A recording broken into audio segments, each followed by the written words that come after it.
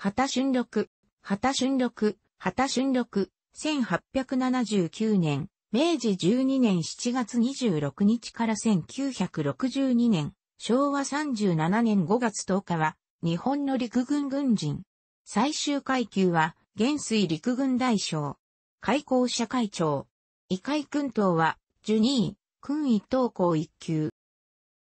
兄、栄太郎は、陸軍省軍務局長や関東軍司令官を務めた陸軍大将、長男、俊也は陸軍技術大尉。父は、旧会津藩士、旗野県。6歳の時四谷神城小学校入学、後12歳の時に、父の転勤に従い、函館へ。函館、弥生小学校高等科4年在学時の13歳の時一等賞を授与される。父が46歳で死去したことに伴い状況。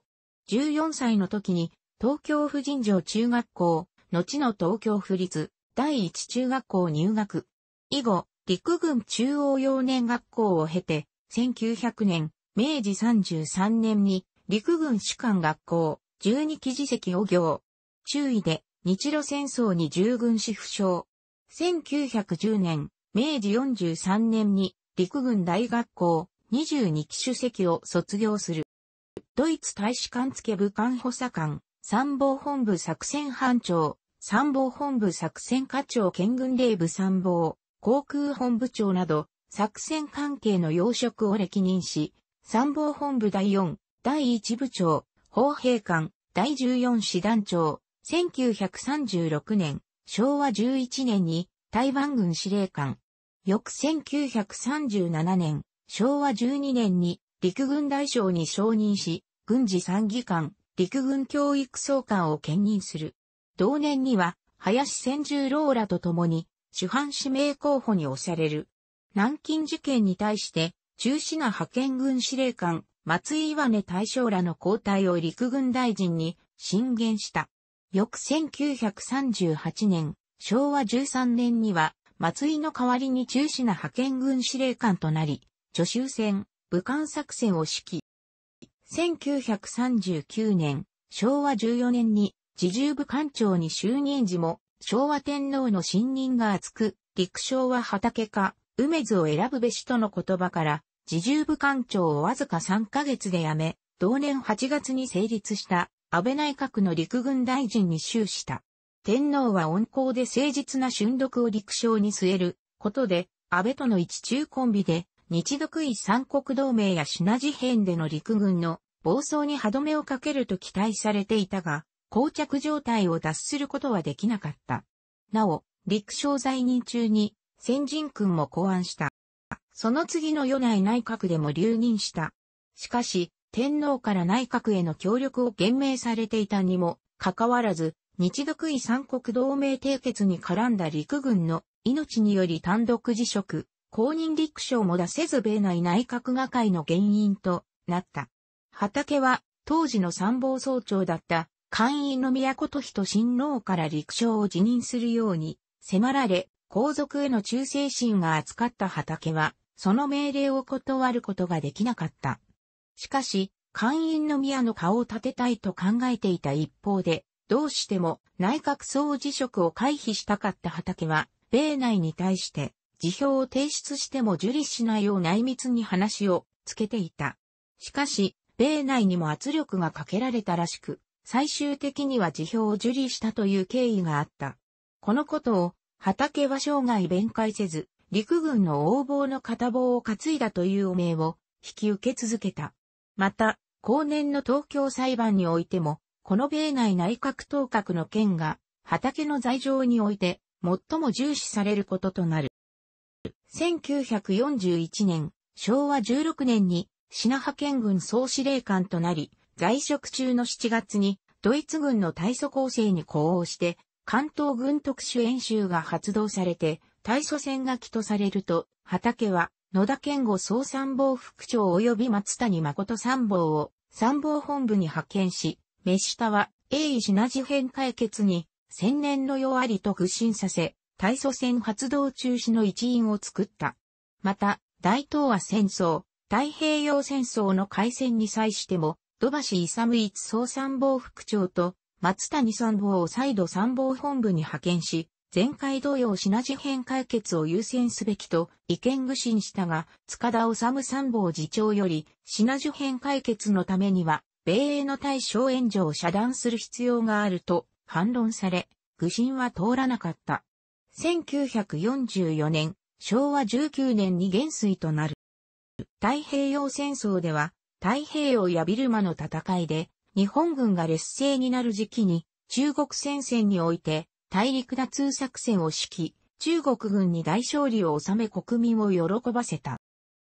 1945年、昭和20年4月、小磯内閣総辞職後の後継を決める重臣会議で、東条秀樹から総理に押されたが、他の重臣たちが鈴木貫太郎をしたため総理就任は実現しなかった。同月、本土決戦に備えて、第二総軍、西日本防衛担当、司令部広島市が設立されると、その司令官となる。同年8月6日の広島市への原子爆弾投下により、国鉄広島駅付近で被爆するも、奇跡的に難を逃れた。被爆直後から、畑は、広島市内で理災者援護の陣頭指揮を取り、広島警備命令を発令した。その職にて終戦を迎える。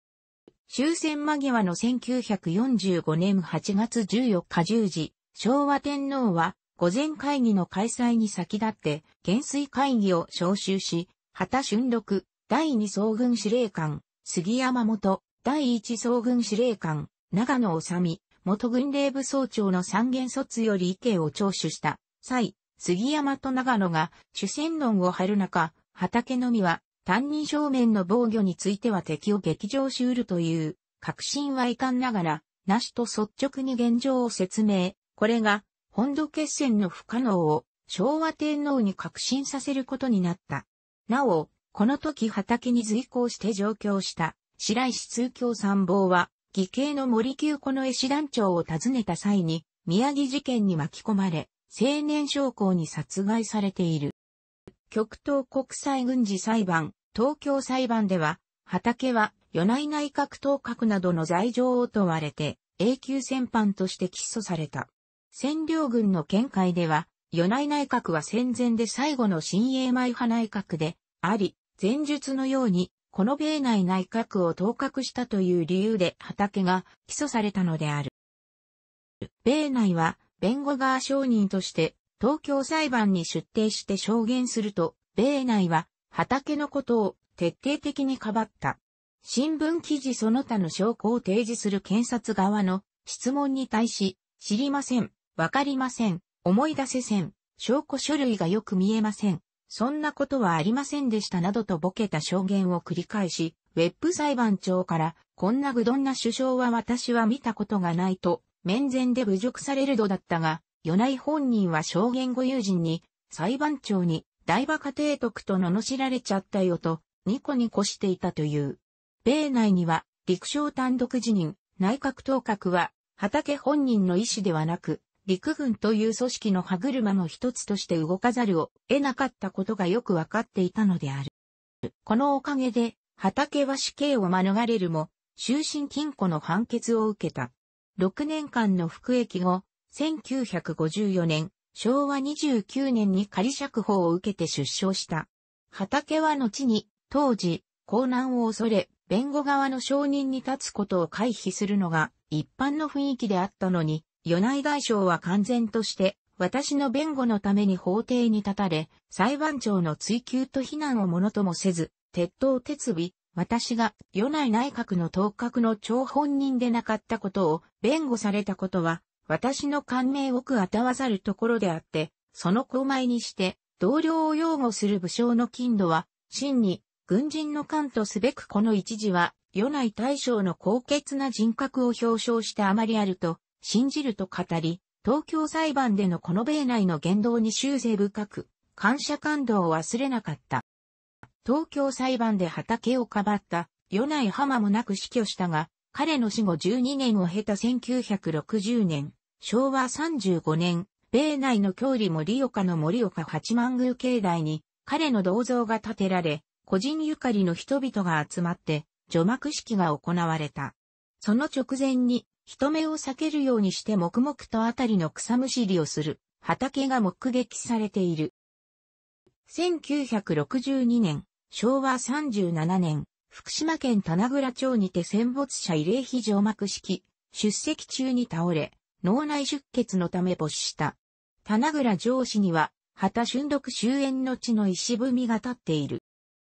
1941年1月8日、陸軍士の官兵式で、東条秀樹、陸軍大臣より自達された、生きて、旅衆の片付け名を受けず、死して在家の汚名を残すことなかれの一節が有名な陸軍第一号。岩黒秀夫によると、もともとは岩黒が品事変における軍機便乱対策として軍人直輸を補足した訓示を提案したところ、板垣清志郎陸軍大臣、畑俊六両陸軍大臣、山田乙三教育総監、今村仁教育総監部本部長、宇沢直信教育総監部第一課長、教育総監部道徳教育担当、浦部明、陸軍中尉、白根隆之らにより作成されたとされる。楽しくご覧になりましたら、購読と良いです。クリックしてください。